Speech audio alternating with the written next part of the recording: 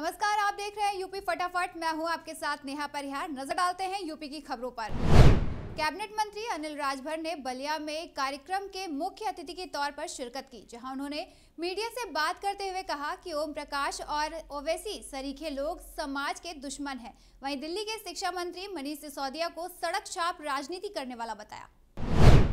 प्रदेश में गौशालाओं में गायों की मौत को लेकर कांग्रेस द्वारा प्रदर्शन किया गया। ललितपुर में कांग्रेस पार्टी ने गाय बचाओ पद यात्रा निकाली। कांग्रेस प्रदेश अध्यक्ष अजय लल्लू के नेतृत्व में यात्रा शुरू हुई, जिसमें सैकड़ों कांग्रेसी कार्यकर्ताओं सहित ज़िले के वरिष्ठ नेता भी शामिल रहे। चंदौली में कमिश्नर दीपक अग्रवाल ने नियमितताबाद ब्लॉक का औचक निरीक्षण किया। वहाँ कार्यों में लापरवाही मिलने पर कमिश्नर ने संबंधित अधिकारियों को जमकर फटकार लगाई। प्रतापगढ़ में पट्टी कोतवाल नरेंद्र सिंह की गुंडई सामने आई है, जहाँ न्याय की मांग को लेकर अपने परिवार की महिलाओं समेत पट्टी तहसील गेट पर धरने पर बैठे युवक को कोतवाल ने बेरहमी से पीटा।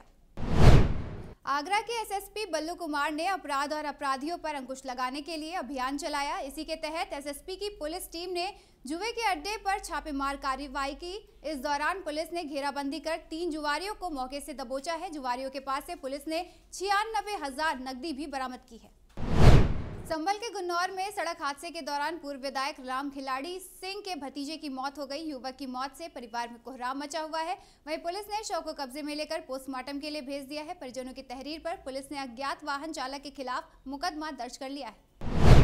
हापुड़ पुलिस ने शातिर लुटेरों के एक गैंग का खुलासा किया है। पुलिस ने गैंग के पाँच शातिर बदमाशों को गिरफ़्तार कर उनके पास से दो बाइक, तीन तमंचे, अड़तीस हज़ार की नकदी व मोबाइल फ़ोन भी बरामद किए हैं। पकड़े गए बदमाशों पर लूट, हत्या, चोरी, डकैती समेत तमाम संगीन धाराओं में तीन दर्जन से अधिक मुकदमे दर्ज हैं। कासगंज में तेज रफ्तार का कहर जारी है। तेज रफ्तार कार सड़क के किनारे लगे ईंटों के चट्टों से टकराई, जिसमें कार सवार छह लोगों में से तीन की दर्दनाक मौके पर ही मौत हो गई। वहीं घायलों को अलीगढ़ रेफर कर दिया गया है।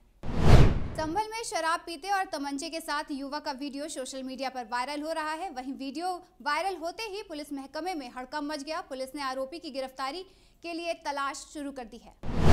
आगरा के खंदौली थाना के नगला अर्जुन गाँव के बाहर पेड़ पर फंदे से लटकता युवक का शव मिलने से इलाके में हड़कम मच गया। मृतक के परिजनों का रो रो कर बुरा हाल है। वहीं सूचना पर पहुँची पुलिस मामले की जाँच में जुटी है। यूपी फटाफट में फ़िलहाल इतना ही। खबरों के लिए बने रहिए न्यूज़ वर्ड इंडिया के साथ। नमस्कार।